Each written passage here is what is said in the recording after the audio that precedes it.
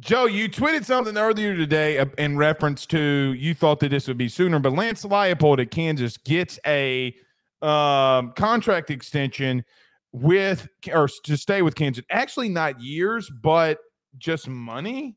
The way that it looks like here. Uh, but Lance Leipold looks like he's going to get a little bit more money to stay at Kansas, maybe a little bit more buyout. Who knows? Yeah, I think the biggest thing here with Lance Leipold is he's constantly been brought up in a lot of these head coaching openings because of the rapid turnaround for a program that is historically impossible to win at. I think the biggest thing is that I believe the $300 million investment that's going into the facilities and the stadium, and then now to invest into your coach. He's now going to be, as soon as Venables is officially out of the SEC or out of the Big 12 and going to the SEC, he's going to be the second highest paid coach in the conference. Behind, I believe Gundy is the number one guy. Leipold deserves all this. I've seen some people be like, "Oh, I, I'd love to get a pay raise to go under 500." Do, do people realize how goddamn hard it is to win at Kansas? Do, do people realize that this is an impossible place to win at? There is a limited buy-in from the fan base. There's a limited buy-in from the on-campus students.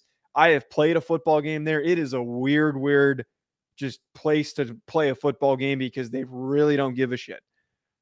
He deserves all this. And I, I wouldn't be shocked if he doesn't end up sticking around for the long term. I'm going to say something and people are going to laugh. Kansas just donated or is putting forth $134 million in stadium renovations, new uh, uh, uh, uh, money that is coming in in reference to their athletic department or athletic programs in reference to football uh singularly okay? I don't know if singularly is a word but in in single Singu- singularly. Singularly.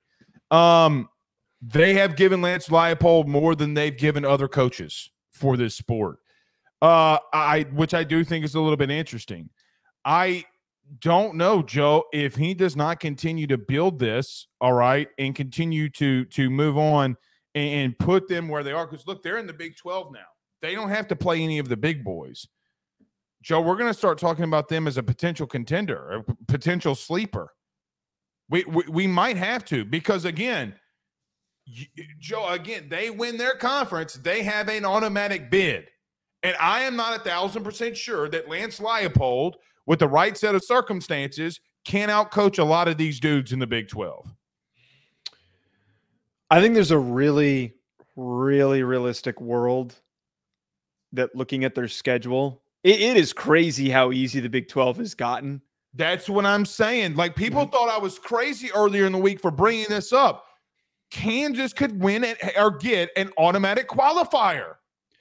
Well, this is why I, I, was going to bat with you last week when we were talking about the Big 12 putting a two loss team in and them deserving a bye. I, I don't think that's going to happen.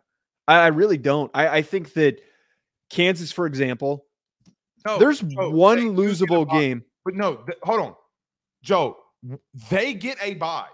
The people, I know, I know, I know, I know. That's not what I'm bringing up. I'm just, all right, the I'm people saying. get a bye. I'm just like people. But I am.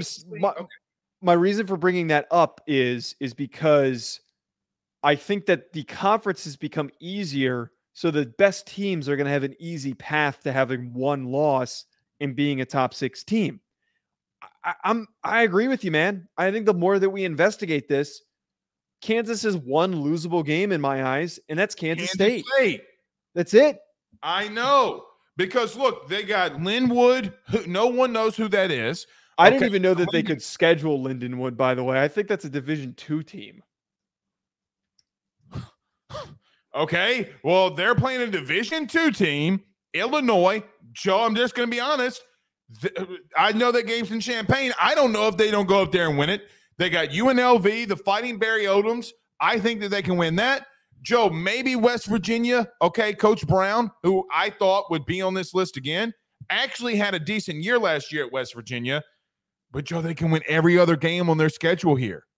I, I, I mean, every single one of them. So that's why I'm saying you give him this extension and more money. Are we in a world where Kansas can make the playoffs? To just throw in a side tangent on Lindenwood, recently moved up to FCS. That game might be 100 points to nothing. I'm just putting that up there, putting out there. Recent Division 2 team that just moved up. I've never seen a Power 5 team schedule a game like this. That is goddamn hilarious. But I a thousand percent agree with you, Blake. I a thousand percent agree with you. I think that Lance Leipold has done a really good job of developing talent. And here's another really big thing. They're losing a couple players. Austin Booker, really talented edge player. He's he's gone. Uh, Dominic Puni, their best offensive lineman, he's going to the NFL. There are three football players that I think are going to be the best in their conference, and I think two are going to be some of the best players in the 2025 NFL draft. Cornerback Cobee Bryant. Yes, his name is Cobee Bryant. Running yeah. back Devin Neal is going to be one of the best running backs in the country. Unbelievably talented running back, and he fits perfectly on this roster. I know that they lost their offensive coordinator, but they're going to put up a ton of points.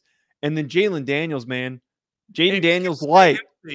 I, I mean, if he can stay healthy, he, he is an unbelievable player. He literally is. I think it's funny that his name is Jalon Daniels. He's Jayden Daniels light. He is the Walmart version of the Big 12 version of Jayden Daniels. Won't go in the first round, but he runs like hell and he is perfect for this, you know, triple option run and yes. shoot op- offense that they run.